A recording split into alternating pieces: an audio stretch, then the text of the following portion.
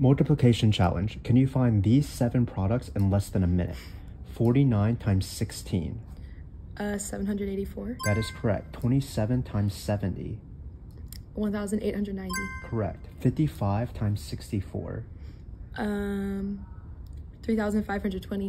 That is correct. 64 times 22.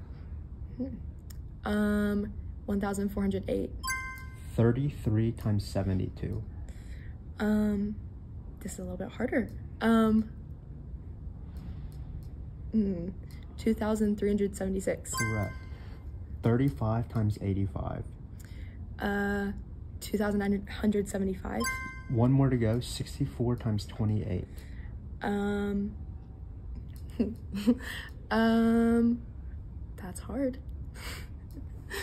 uh, okay. So, well, 64 times 4 is 256. So, 1400 plus 392 is 1792. And you got it in time. Good job. Yay!